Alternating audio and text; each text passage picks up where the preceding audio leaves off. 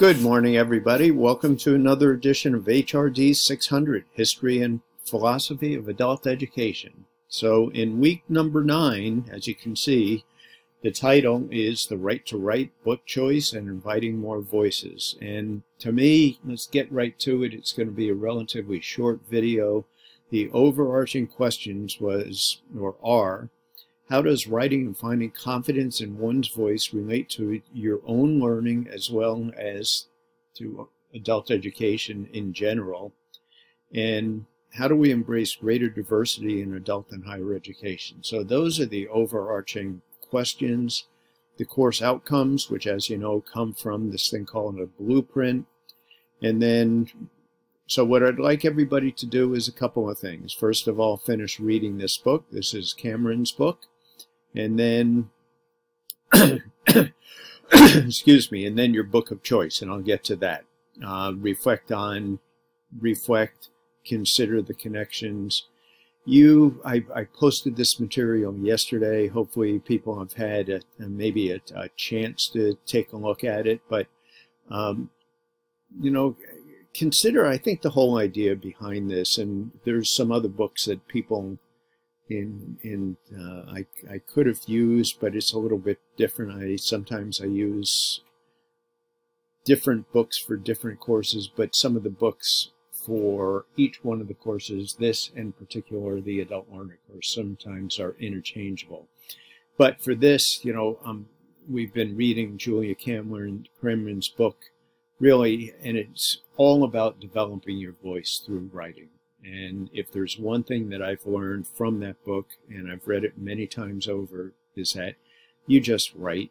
You you you become a better writer by writing, but you also, as we know about Dewey's work, and you, you need a reflective component to it also. And you know, I personally participated in a couple of writing groups.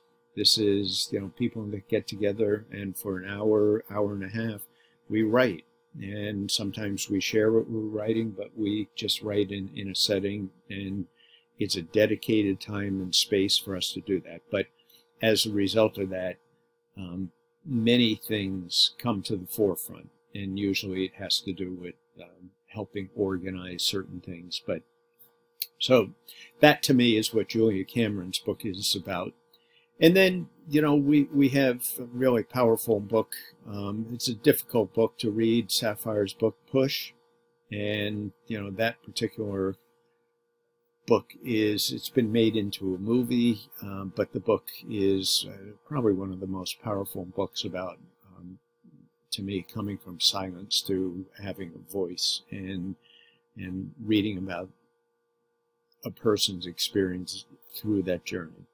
So we have a lot of articles in here. You know you don't have to read every one of them. Please take a look at each one of them as you see fit. You might be able to jump into it a little bit, um, scan them. If you do find any of these links that are not working, please let me know. I check them all, double check them. They're working on my computer, which doesn't some sometimes necessarily mean they're working for you. Um, so participate in the online discussion.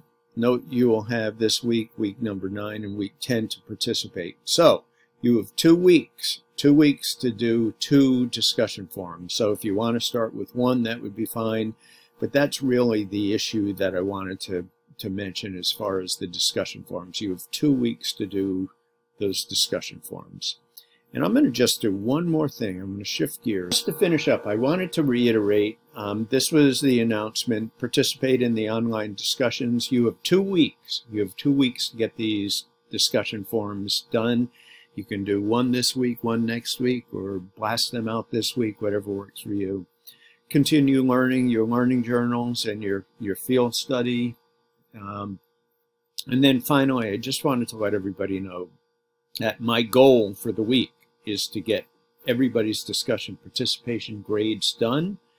And that means becoming current on all of the grading that I have and any other submitted um, assignments. You know, I'll get caught up on those, the journal summaries that you did. I'm still waiting on a few of them, so please get them to me as soon as possible. And one final thing, I will be traveling this week. I'm, I'm presenting at the American Association for Adult and Continuing Education conference, and that is a um, national conference that's being held in Reno, Nevada this week. And I have been selected, and I will be presenting a topic uh, really dealing with Malcolm Knowles' work and andragogy. So I'll be there, um, which means I'll be traveling all day Tuesday and all day Friday. So if you need me, send me an email. I, I will be around. And in the meantime, any questions, just, just shoot them to me and I will be as prompt as I possibly can getting back to you. So I hope you have a great week. And if there's anything I can do for you, please let me know. And uh, we'll see everybody online. Bye.